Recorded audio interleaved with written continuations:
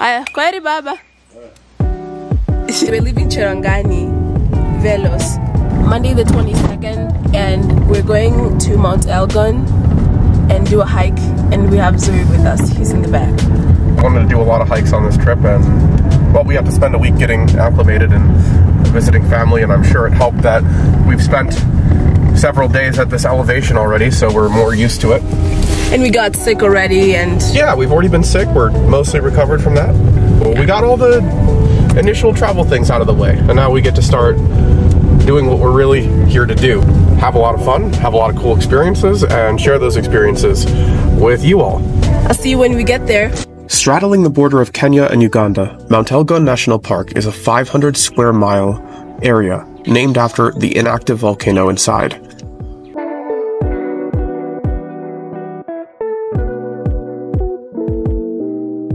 We're at Mount Elgon National Park and we just checked in and we are getting ready to go in and take a guided hike. With our guide here, Masai Boniface, welcome to Mount Elgon. Mount Elgon is one of the key water catchment that we have in the country. In total, we have 16 rivers that emergate from this ecosystem.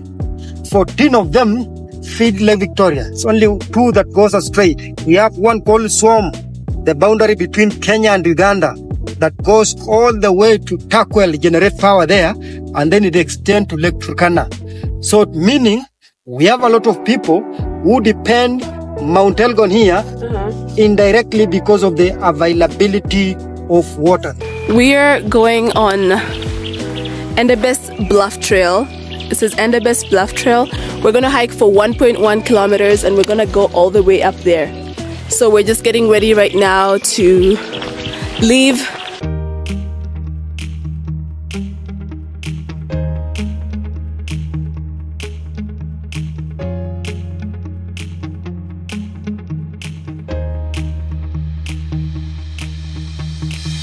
Mount Elgon ecosystem is subdivided into three sections.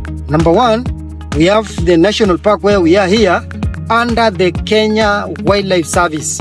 And then number 2 uh-huh. we have the game reserve under the county government. So in a game reserve, government normally allows the dwellers, the communities who live nearby there, we call them the robos. So they graze the domestic animal. And then number three, we have the forest. We just went like a really small hill. We just started this hike and we're already exhausted Yeah, because we didn't train as much as we wanted to before we came. So this is we're not really in hiking shape. We're, we're kind of doing on the spot training. Ooh.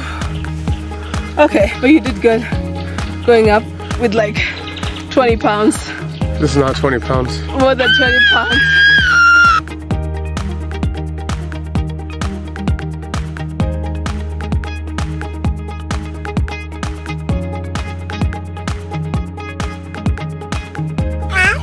We just had to keep, like, we just go for a couple steps and then we stop because Yeah, we are doing frequent breaks because we are we want to make sure we make it to the top of the mountain. You think Almost. we've gone a third of a kilometer? Almost.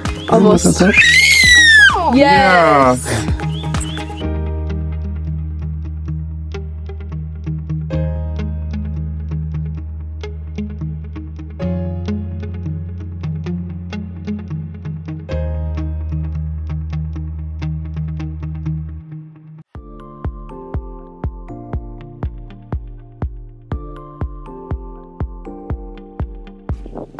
Finally made it to the top of the mountain.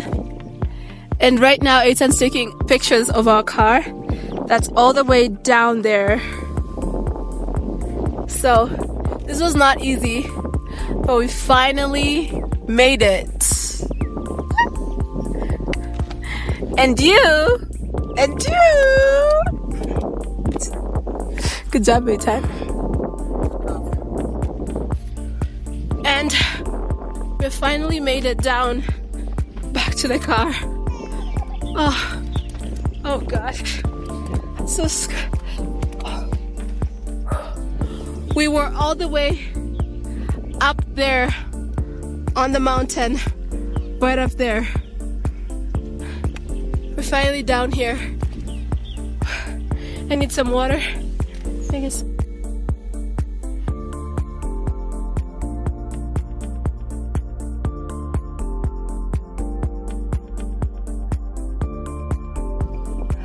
Did your first hike with us. Good job! God, he's so happy. Oh my gosh.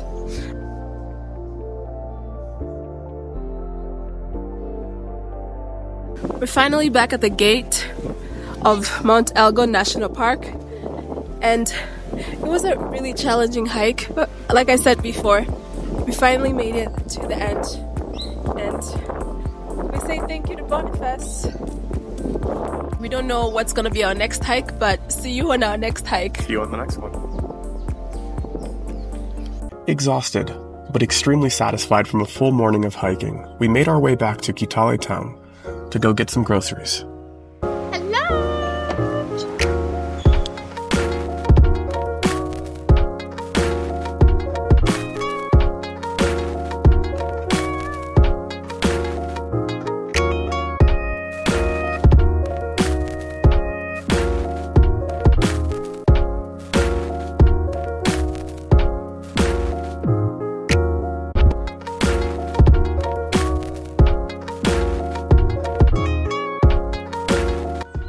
Thank you for experiencing this exciting adventure with us. Make sure you subscribe and stay tuned for the next one.